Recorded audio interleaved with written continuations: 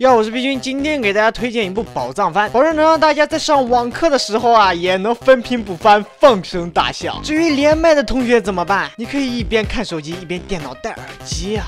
开玩笑的，我这么好的人，怎么可能在上网课的时候干这种事呢？别忘了设置一个没有老师的讨论群啊。那么今天给大家推荐的番是《甘城光辉乐园》。一上来，男主可儿讲写就被女主千斗五十铃拿着不知道从哪里掏出来的枪啊给指着，强迫男主跟。他去约会，本来想拒绝的男主啊，被女主的一枪给镇住了。被逼无奈的男主只好答应。第二天，这两人在车站等车的时候啊，顺便把名场面流程走了一遍。只见女主裙底掏枪，并且把枪怼到了男主脸上。那个，其实我最想问的还是，枪上还有余温吗？不仅如此啊，后面的小孩子也挺有前途的，老狙击手了。妈妈。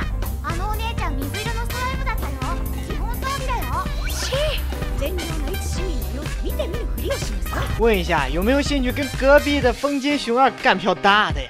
差点要进情侣宾馆的二人啊，终于来到了梦开始的地方——甘城光辉乐园。这个游乐园可谓是人气爆棚到只有三个人。一脸 MMP 的男主啊，被女主强迫着逛了恐怖至极，甚至有受伤危险的提拉米花园大冒险；被封条封住的老八密室；心情不好就不开的马克龙音乐剧场；被绯红之王消掉的松松糖果屋。还在那里认识了看似皮套，实则不是帽子不错、态度极佳的松松饼，并且拿到了姿态。优美的照片。随后，二人又去了大小不同的元素馆，坐了毫无波澜的心跳过山车，看了老人坐的自由落体和过山车相反的咖啡杯。一圈过后，男主向女主抱怨道。生动形象的把这个游乐园和隔壁的情侣旅馆做了个对比，并且张开双臂发表了感人肺腑的宣言啊！女主赞叹了一下下男主的宣言后啊，掏出了小本本开始爆男主的黑料，并且把男主以前小时候是完美男孩，然后莫名其妙隐退的事说了出来。但因为此时要强硬离开的男主啊，却因为三个土豆饼留了下来。女主带男主见到了制作土豆饼的人，同时也是游乐园的经理兼公主瓦尔兰扎。这一。见面，男主突然闪过了一点回忆。公主对男主直奔主题，希望可以重振这个游乐园，并让他当这个游乐园的经理，并且以授以魔法的理由直接吻了上去。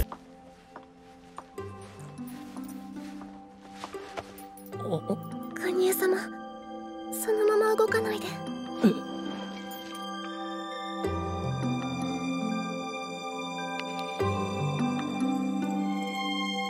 说实话，这表情我想歪了。那个什么，我也想学魔法了，怎么办？